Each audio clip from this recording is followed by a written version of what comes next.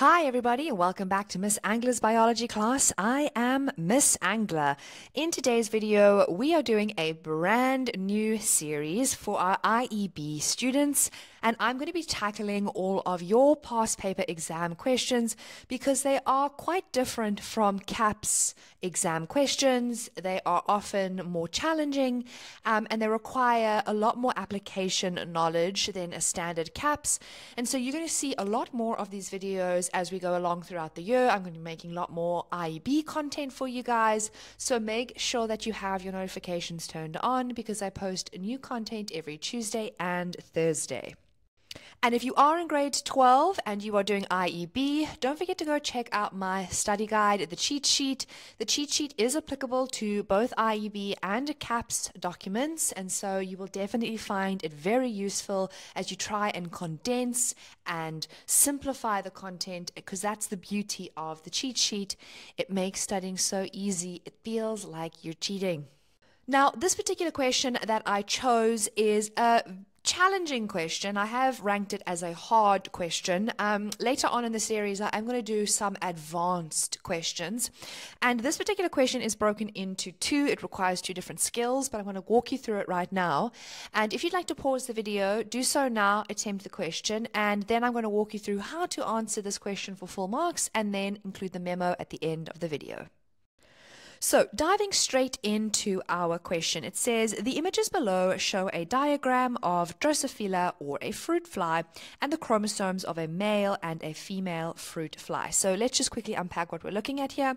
This is a Drosophila or a fruit fly literally if, if we've learned anything about genetics you maybe already know that they are really important in the study in the field of genetics because they're really simple and as you can see they have very few chromosomes. Now these um, two collections let's call them karyotypes if that's what you are comfortable with. Um, it's really important to understand what you're looking at here and if you look too quickly you're going to make a very common mistake. The first thing i want you to notice before we answer any questions is they have told you you that this is a female and these are the sex chromosomes and this is a male and likewise over here and you'll automatically notice that they have the exact same sex chromosomes as humans. So it's important to note that, but I want you to also know something else. Don't always assume that the sex chromosomes will be the same in any other animal as they are in humans. That's not always the case.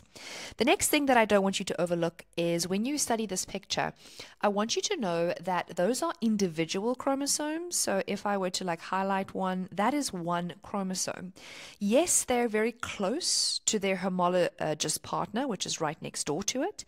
And so if I highlight another pair, down here in a different color, it's important that you are comfortable enough and confident enough to know that those are individual chromosomes and not replicated or duplicated. Because remember, they would have the appearance where you would have a centromere in the center so they'd be joined together. Or alternatively, you might even notice that they kind of have this hairpin shape to them, which I'm just going to sketch here on the side. You'll notice they have like a, a dent in the center. That's another way that they are drawn. And if they were replicated, then they would meet in the middle and it kind of would make this X shape. So the last thing then is to count how many you actually have. And so if we count, we've got one, two, three, four, five, six, and then seven and eight are tiny in the middle there. And so let's just write that down and note it for later. And let's get into the questions. So question one says, from the information provided, state the diploid number of chromosomes found in a somatic fruit fly. Well, we've already calculated and counted that, and that is going to be eight. Now, how did I know that? I simply counted it from the karyotype provided. And also remember, diploid means we haven't gone through any meiosis. Now let's get into the next question. Number two, how is sex determination in fruit flies similar to that in humans? And literally it's only one mark. And so all we're going to mention for this one is the fact that females are XX, just like they are in humans, and males are XY, just like they are in human males. So that's all you actually need to say. For number three, it says draw one gamete to show the correct number and shape of the chromosomes that could be produced as a result of meiosis in the female fruit fly. Refer to the diagram above you to assist, or above to assist you. Now, this is really important. Number one, you must, must draw only the female. Now, looking at the differences between the male and female, I want you to look very, very carefully. If by accident you draw the wrong um, grouping or you draw the male, you'll notice the male's Y chromosome is bent inwards like that. And so you really got to be very careful now when you draw your diagrams. So it says one gamete. So when we are drawing one gamete, what we need is, as standard, we need a line diagram. And of course, we always need to provide a heading. And so your heading needs to be along the lines of diagram showing the chromosome number in a female fruit fly gamete. That's what we're going to put there is our heading, right? We always put a heading. Now, what is it going to look like on the inside? Well, remember, we started off with eight chromosomes. If we've gone through meiosis and we've made a gamete, we're only going to have four.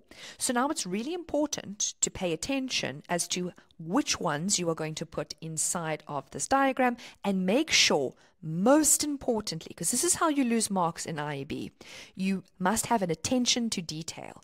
You must notice, if I bring your attention back up to the karyotype of the female, that the shape of these chromosomes must be mimicked or copied into your diagram. That means, for example, if we are going to, and I'm going to just quickly remove all of the coloring off here so you can see what I'm doing.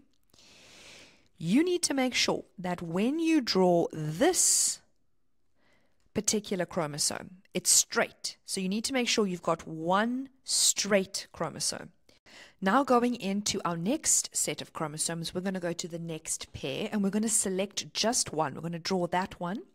And again, we want to pay close attention to its shape, but also its size, because it's important to know that when we mark at the end of the year, detail is important. And so if there's shading or if there is a size difference, it's important to include it. Then we're going to select one of these teeny tiny little ones. And remember, you want to keep the size correct. So let's put a little one in there. And then last but not least, we want to select just one of the partners on the other side. And we're also going to make that lean inwards as well. So now we know there is a difference. Now we know that there is the correct chromosome number. We've done our drawing rules. It doesn't ask you to label anything, as you may notice here. So if you have given the correct number, you have given the correct sizes and shapes, you've got your heading, you're going to get five out of five. Now let's move on to the more challenging application question when it comes to a genetic cross. Now, this particular question says in fruit flies, the eye color gene is sex linked. The moment you hear that, you must go, okay, I'm going to work with X's and Y's. Red eye color is the dominant color then to white. So this is also really important. We'll come back to that soon. It says use a genetic cross or Punnett square to show the cross between a white female and a red-eyed male. Express the probability of the expected phenotypes of the offspring as a ratio. And that's also really important because they're telling you what they want at the very end. Do they want a ratio, a, fac- uh, a fraction, or do they want a percentage? Last important piece of information is they have now told you what our key is, and it's telling you it's also carried on the X chromosome. So now let's be very careful before we begin anything. Let's write out before we start what the male and the female is. So the female is white eyed, right? So that means she's got two X chromosomes. And because she is white eyed and white is a recessive trait, she's going to have to carry two small r's on each of her X's.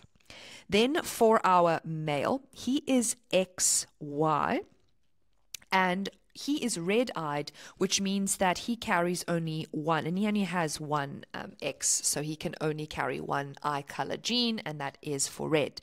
Now, what we need to do is take those um, genotypes and we're going to put them into a genetic cross. Now, different schools teach different things, but I firmly believe that there is the best way, is my way to lay out a Punnett square and a genetic cross so you get full marks. And this is how we're going to do it. So step one, in the margin, we're always going to put P1 and we are going to put our white-eyed female multiplied by our red-eyed male. And it's really important to put male and female because it's a sex cross. And we're going to put in their genotypes oh, that must be a capital R, and our Y. Okay. Then we are going to write our meiosis. And we're going to put our in the side piece over here. We're going to put gametes.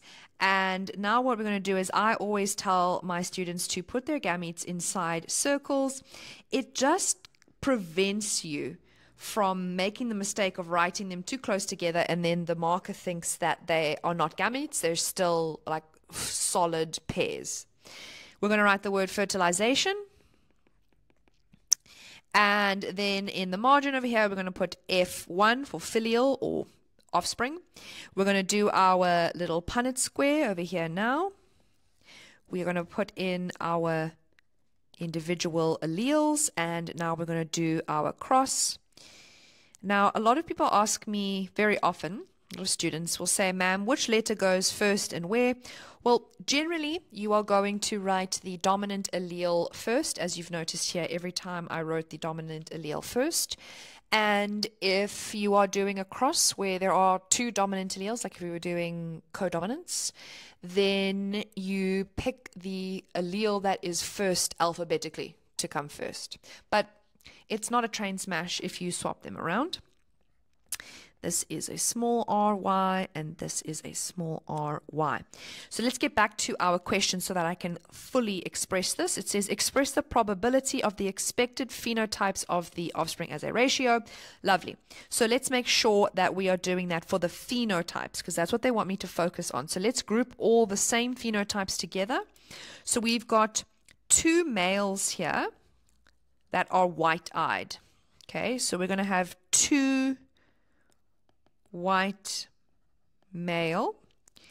Then above that, we've got a big letter and a small letter, which means these two females have red eyes. So that means I've got two red female, which remember, they want this in a ratio is a 2 is to 2 ratio, or if we simplify it, is a 1 is to 1 ratio. Now, here is the memo for your reference. I have found it very challenging to use IEB memos, the ones they give you on the internet, because um, they don't put the tick marks in anywhere.